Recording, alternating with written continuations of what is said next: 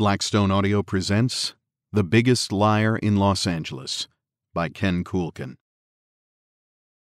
For my kids, Darcy, Cody, Zoe, Darren, and Nick, who bring me a world of joy.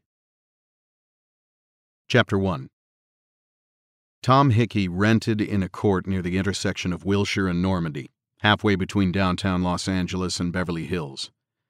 He shared the cottage with his little sister, Florence. She was 17. Six years ago, Tom had snatched her away from their mother, Millicent Hickey, a seamstress for Universal Pictures. He hadn't spoken to Millie since the day he and Florence left home, with nothing but his clarinet and a suitcase of clothes between them. At first, he believed their mother would track them down, have him arrested, or beaten by a gang of her fellow spiritualists. But all these years, she had left him alone. He credited Leo Weiss for that blessing. When Tom was in fourth grade, Millie rented a two bedroom bungalow on Orange between Highland and La Brea. The owners, who lived next door, were Leo and Violet Weiss. Leo was a detective with the LAPD. At first, Leo and Vi appreciated Millie. She kept the house spotless, and her passion for gardening transformed the yard into a wild yet orderly scene reminiscent of Eden. But soon Vi caught Millie whipping Tom with a rope while shouting in tongues. Leo warned her, politely, hoping to keep Tom and Florence next door where he and Vi could observe and react. Then Vi rescued Tom when Millie lashed him to a fence post in the backyard and left him while she ran errands. For that offense, Leo threatened jail next time.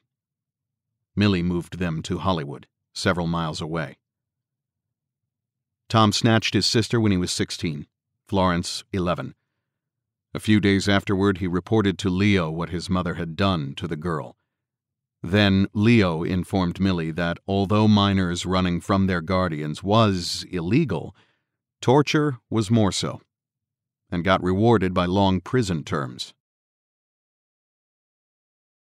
Now, in 1926, Tom was a band leader. Before he turned 22, the other musicians drafted him, though most of them were twice his age. Tonight they roamed around the vacant storefront owned by Archie, the drummer's uncle, trading jokes and filling the room with a smoky blue haze. Tom hoped a high C would grab their attention. He lifted the clarinet to his lips. Then Oz came loping in. He carried the tattered case that protected his alto sax and a fistful of leaflets. He shoved a leaflet at each of the boys. As Tom took his, Oz said, None of you white folks go telling me the Klan don't be here out west. The leaflet was a broadside entitled The Forum.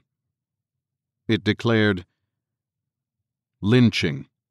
We who ask to live in peace, who came to this city of angels hoping to leave the terror behind, who judge no man without cause, who take only our meager share of the promise this nation affords to those unbound by color, who wish to believe that justice will some day prevail, must now pause to weep.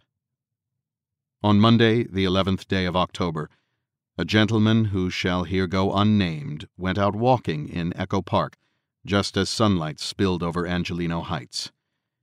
In the glare of dawn, a vision appeared.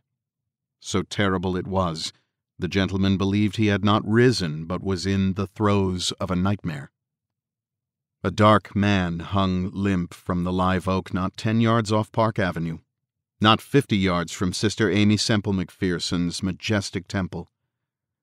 Before this heinous act, the invisible empire resurrected by Mr. D.W. Griffith's Birth of a Nation would have us believe that in our locale they limit their hooded activities to preserving the good book's values by smashing the furniture and windows of speakeasies flogging the occasional adulterer, marching to protest the election of our first Negro assemblyman, and rallying voters to elect candidates opposed to unfettered growth. Now, with one act, despicable. We hope you enjoyed this preview. To continue listening to this audiobook on Google Play Books, use the link in the video description.